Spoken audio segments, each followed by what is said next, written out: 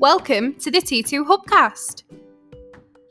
Join Martin, Dave, Spencer, and guests as they discuss all things personal and professional development. The T2 Hubcast, brought to you by the People Performance People.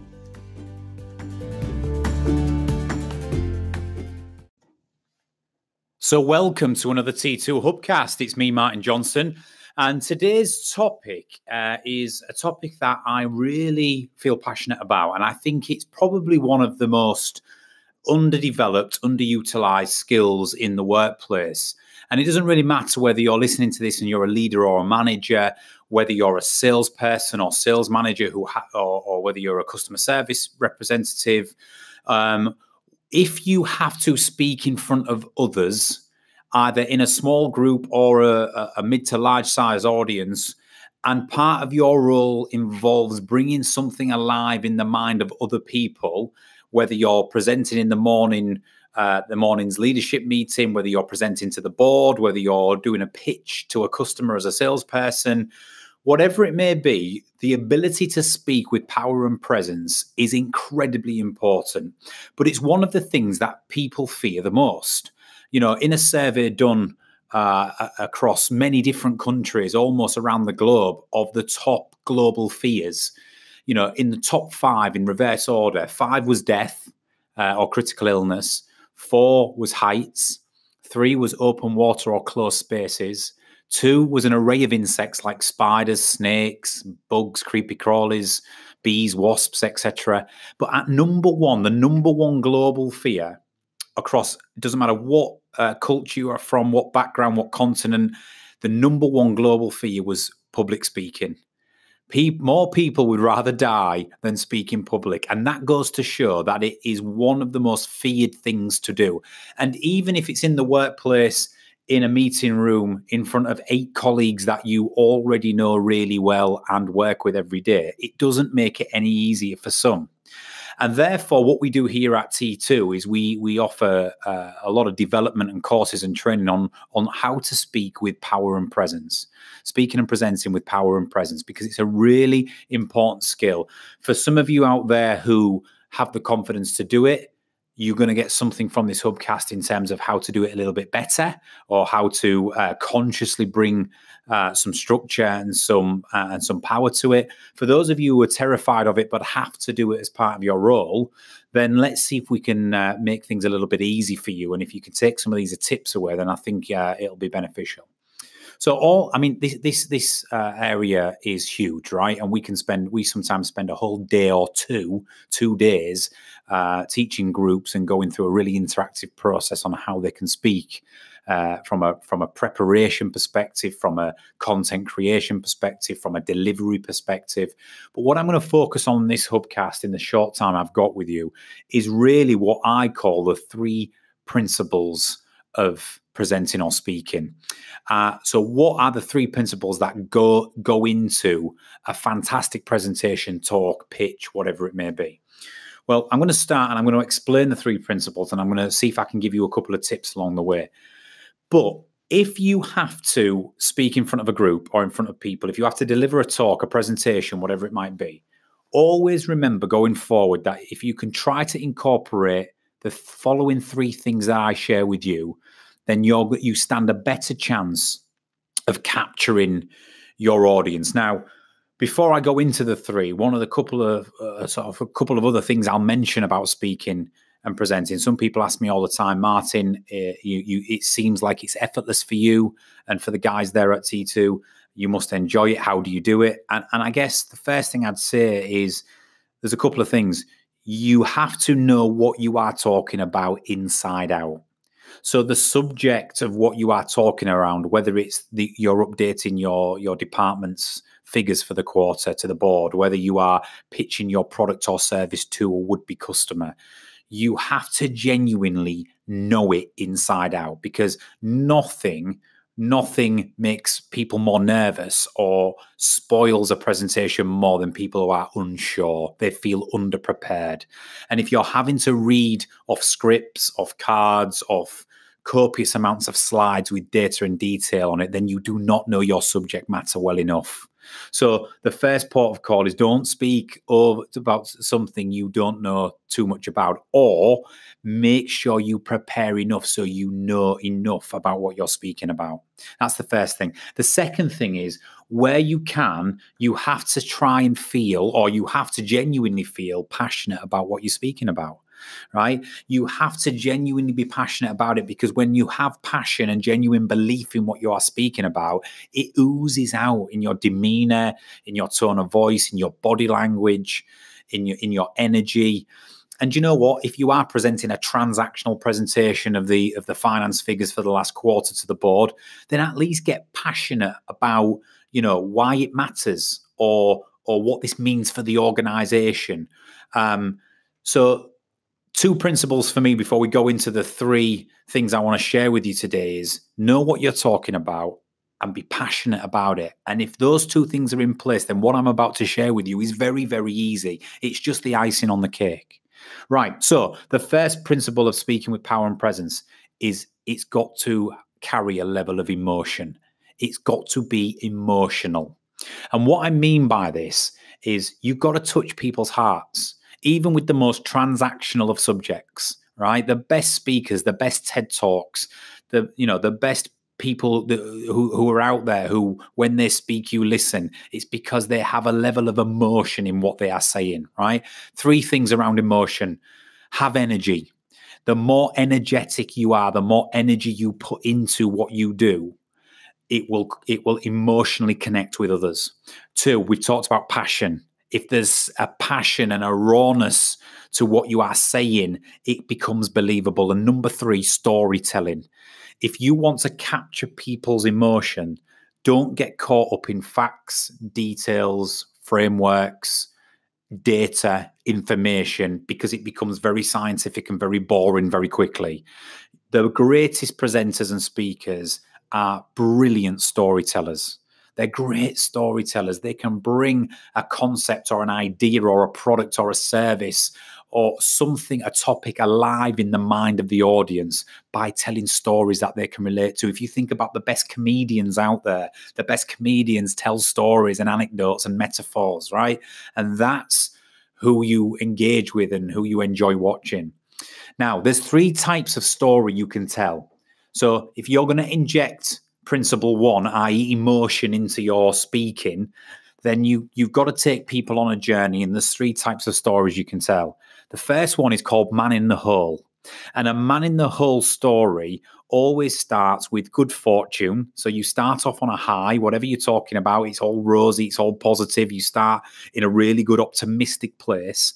And then all of a sudden, in the middle of your talk or presentation, you bring it down to ill fortune, or you bring it down to challenges, or you bring it down to the problem or to adversity. So you take the audience from positive, upbeat, messages and a tone down into ill fortune or something that could be perceived as a challenge or negative or whatever it might be. But this is the beauty about this type of story. The man in the hole, then at the end of your presentation or talk, returns to positivity. Now, leaders master this in the workplace. If you've got a tough message to deliver to your to your team or performance wise, right? If you want to rally them, don't steam in with the tough message. Neither should you end on the tough message. We've all heard the term the shit sandwich, right?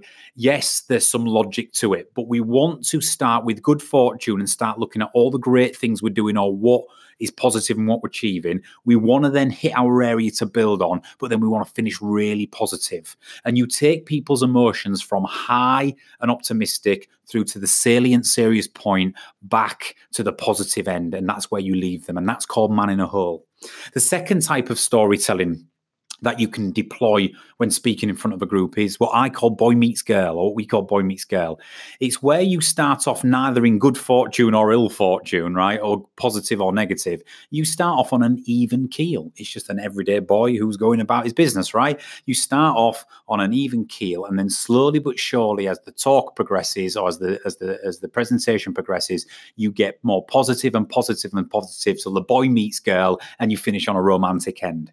Now that's a, a more steady story to tell. If you want to build uh, the momentum throughout a presentation. Start even keel, get your facts, data, information. Nothing's really happening, but then really finish on a high, and that takes uh, people's emotions on a spike towards the end of your presentation.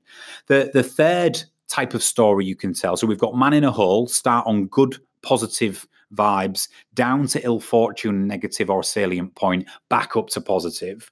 You've got boy meets girl, start even, get the facts, data, evidence, and the transactional stuff out the way, and then finish on a high. And the final story is the Cinderella story. I like to use this one when I'm delivering a 25 minute talk at conferences or when I'm when I've got a very short amount of time to take people on a journey and capture their attention, I like to deploy the Cinderella story. The Cinderella story is starting at the beginning with intensity and of a position of potential ill fortune. And what happens is you start in, you're capturing people's buying and emotion instantly because they are root like the story Cinderella, they are rooting for you before from the beginning. You are the underdog, right? So you start there and then you slowly build and navigate your way through the challenges until you end up with the success on a high. Some of the best speakers I've ever witnessed master the Cinderella story, right? From rags to riches, from adversity to success. It's why explorers are great speakers, right? It's why people who have come back from adversity, ex military guys who have suffered serious inju- injuries in Afghanistan or Iraq, and how they've come through and how much of a success they are and an inspiration they are in the modern modern day.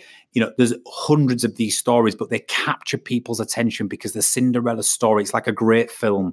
If if you're watching a film and from the outset, somewhat there is misfortune on somebody or somebody is struggling or somebody is the underdog you are rooting for them for the rest of the film and it captures our emotion so, the first principle of speaking with power and presence, just to summarize, is you've got to inject a level of emotion into what you do, whether you're pitching a product or service, whether you're, you know, presenting in the morning, uh, you know, walk around, whether you're pitching to the board, whatever it might be, whether you're speaking at a conference, you have to be able to inject a level of emotion into what you do.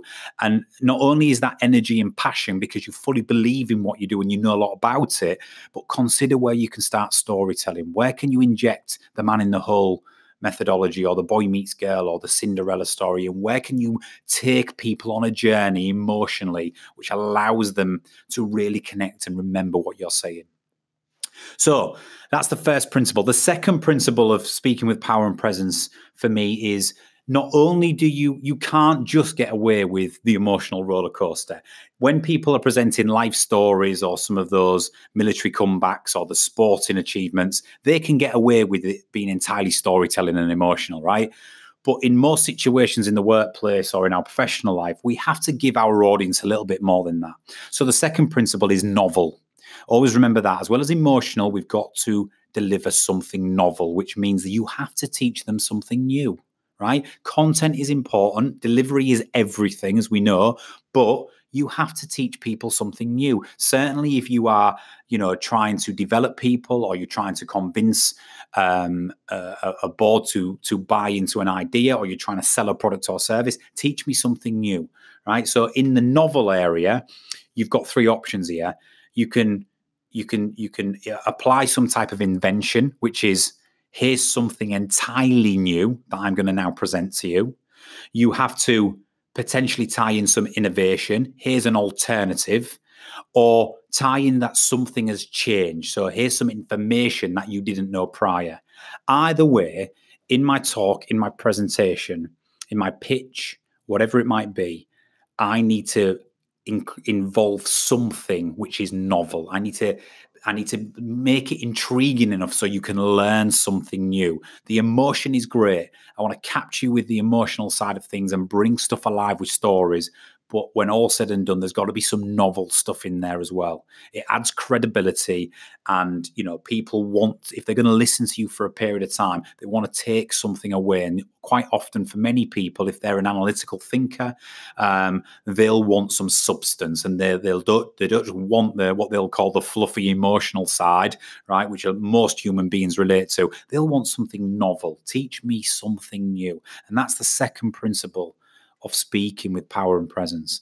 Now, the third principle of speaking with power and presence for this hubcast. So we've we've we've incorporated some stories and energy and passion and we're bringing things alive we've got one or two nuggets in there which is teaching some somebody something new something alternative or something's changed and you need to inform them inform them of that but the third principle is as equally important it's you've got to make it memorable nobody truly is inspired by somebody standing up in a room and talking through 20 slides right? Nobody is truly inspired by anybody standing behind a lectern with their hands in their pockets or with their hands on the lectern and talking in a monotone voice for 20 minutes or half an hour right it, that that that's the norm right nobody is inspired by people standing up and sheerly passing information data um, or whatever it might be so you've got to make it memorable, and hopefully you've gone some way if you've injected some emotion and something novel into into your talk or, or presentation, you know, or pitch. That's going a long way, but you need to make it memorable. And what memorable people do is they present content content in ways you have never seen or that you are unlikely to forget again. Right? How do presenters do this, or how can you do this without without it being inappropriate? But you've got to you've got to play with this. You've got to make it memorable do something different. Quite often people will use visuals. So instead of just content on slides they will use flip chart or they will use post-it notes or they will use something play video or do something that presents the content in a visually different way. Consider how you can do that. They use props you know physical props one of the best talks i've ever uh, witnessed and enjoyed live was a, a, speaker that I I had on my T2 Talks conference uh, last year, uh, Steve Judge. Steve Judge is a two-time uh, para triathlete um, and he's now a motivational, inspirational speaker. But his story is remarkable. You know, Steve was an everyday guy um, who one day was involved in a horrific car crash, which he thought he would never walk again. He crushed his legs, and he thought he would never walk again. And um, and actually, you know, his his strength and his character and his drive led him to not only walk again, but to do some amazing things and become a two-time world champion para triathlete. Now, you know, if, if, if you if you do one thing after this, check Steve out on on YouTube. Uh, you'll find him on YouTube. It's Steve Judge. But one of the things he did in his presentation is he used props throughout the entire presentation.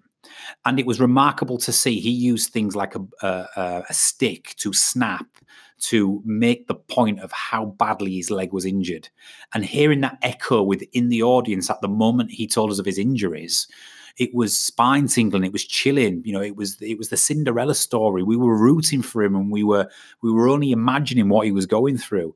You know, he used a bucket to chuck it in. He um, he used his medals that he won to to celebrate his you know when he when he crossed the line to become a two-time para tri he used props incredibly intelligently throughout the whole talk and it made it memorable and that's what a lot of people do um, we've talked about video and audio.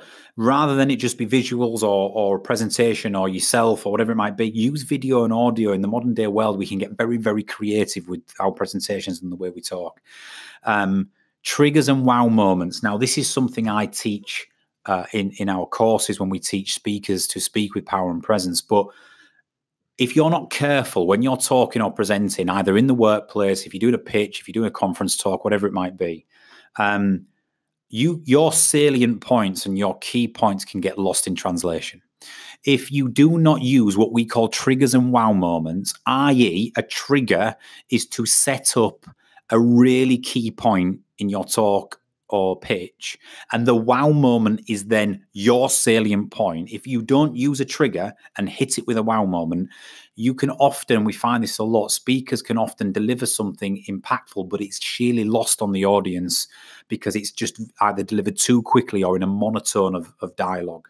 So a trigger is how you set up a series, a salient point. So let me give you an example of a trigger I use when I'm speaking at conferences. So I'm giving it my emotional best I'm storytelling I'm expressive. I'm walking up and down. I'm using body language. I'm including bits of novel information in there. Um, I don't use detailed slides. I have visuals that bring stuff alive, but I'm ha- highly animated on the stage. But when I want to deliver a trigger and a wow moment, I slow down and I quieten my voice. I, I become more quiet because I'm quite a loud person. So my opposite impact is when I become quiet. And then what I do is I slow it right down and I say a trigger along the lines of this.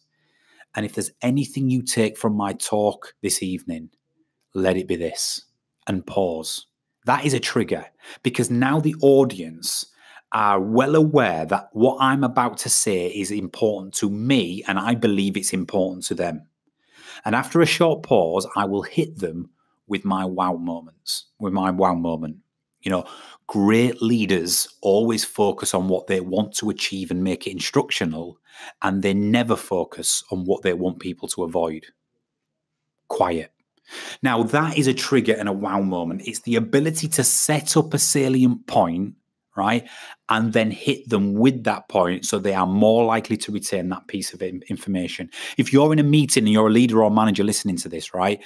If you're in a meeting and you're hitting your people with a fire hose of information in a presentation or a talk or, whatever it is, right?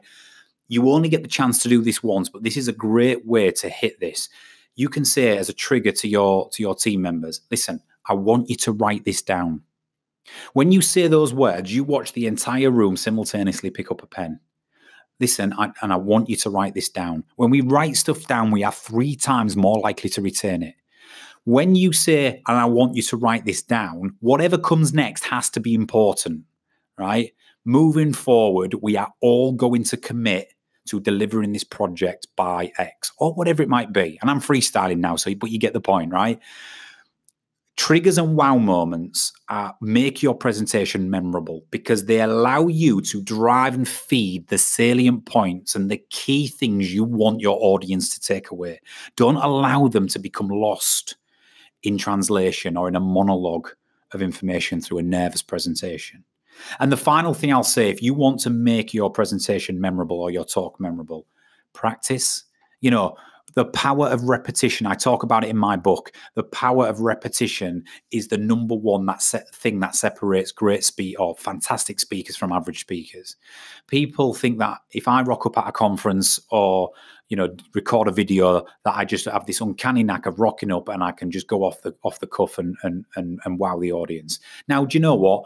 With my experience now over the years, I could probably give that a go. But make no mistake about it, I have absolutely planned and delivered that presentation or that kind of presentation tenfold, sometimes a hundred times, right? So much so that I am on autopilot from a content perspective. And I can now focus on all the things I'm talking to you about today the emotional, the delivery, the storytelling, the body language, right? The, the, the triggers and wow moments I want to get across. So practice and repetition is key. You know, I mentioned Steve Judge earlier on. Uh, I can think of some of the other fantastic speakers we've had at T2 Talks. They deliver those type of presentations and those talks every week, 10 to 15 times over. And that is why they are so good at them.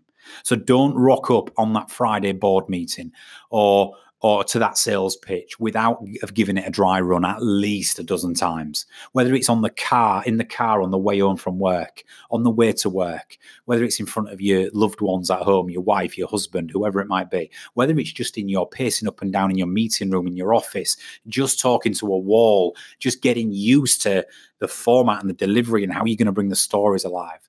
Fantastic presenters practice, and through the power of repetition, they make it memorable.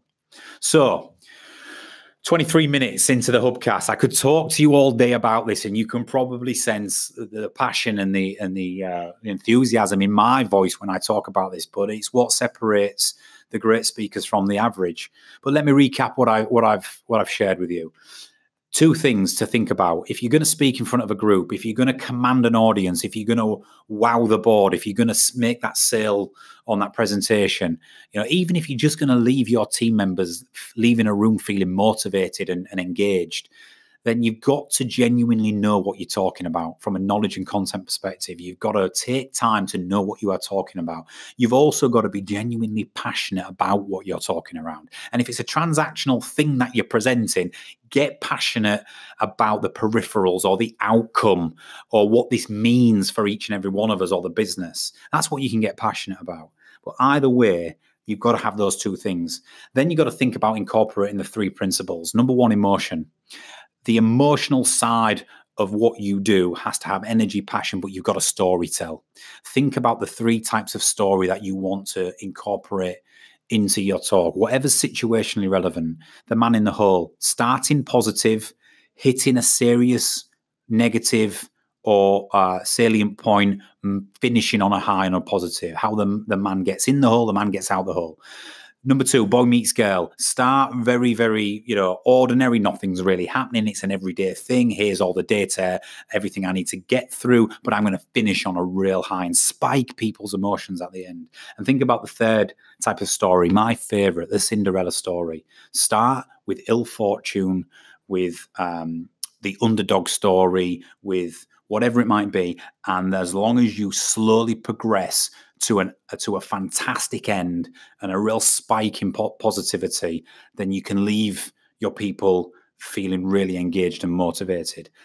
Number two, you've got to be novel, right? You've got to, or you've got to incorporate a level of novel information into your talk or presentation. People want to, if they're going to give up their time and they want to take something away, they've got you've got to teach them something new, right? You've got to here's something entirely new. Here's an alternative way to doing something that we do at present, or something has changed and I need to inform you of it. That is teaching somebody something different or new. And that's what we would class as incorporating some something novel into your talk or presentation. And finally, memorable. People who present content in ways that you that you will never forget will always stay with you. Use visual props uh, or visuals, use props, use um, video and audio. Don't miss the opportunity to incorporate some of that triggers and wow moments. Remember what I've said about triggers. Don't allow your salient points to be lost in translation. If you want people to, to remember you and remember what you've said, make sure you set up your point uh, with with a with a trigger. I.e., listen, I want you to write this down. Or if there's anything you take from this meeting this morning, let it be this. They are examples of fantastic triggers. In sales pitches the sales people amongst us can set up triggers such as and you know what? If there's one thing that our customers love about us it is that's the trigger. And then you better back it up with a wow moment. But you've got to think ahead about which ones you can use to really inject something memorable into your presentation or pitch. And then of course wow moments you've got to follow it up with the salient point. Finally repetition. Always always you know, whenever I've got a big conference talk to do or I'm building up to a big presentation or whatever it might be, every morning that week before I deliver it in my car, my 40 minute commute, I deliver the presentation through the windscreen with the radio off with power and presence. Many a time have I pulled up at the traffic lights, giving it both barrels for my presentation, and somebody is in the traffic next to me looking at me like I'm absolutely crazy, right? I just smile and carry on. I repeat the same exercise on the way home. If you think about that, five days over, that means that I have delivered that presentation from start to finish in a safe environment 10 times before I get on that stage. And that is what you need to try and consider, no matter how big or small the opportunity is. So that concludes my hubcast. It's a few tips there on how to speak with power and presence, whether you're a salesperson, a manager, someone who speaks at conferences, someone who has to present to the investors, the shareholders, the board, whatever it might, or just your team on the Monday morning walk around, right? Use some of the principles, start simplifying it, um, and and don't leave out, don't miss the opportunity to inject the three principles: emotional, novel, and remember rem- and memorable. So that concludes this hubcast, and I hope you found it interesting. And I'll be back shortly with another T2 hubcast. Thank you very much.